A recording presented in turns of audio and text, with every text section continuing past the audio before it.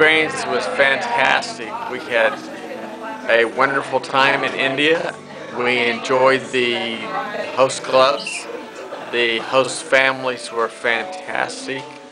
And it was wonderful to see all the different Rotary projects that we had. Oh yes, of course I'm proud. Proud of being a Rotarian, yes. especially with the international part of it. That uh, that's the wonderful part of Rotary.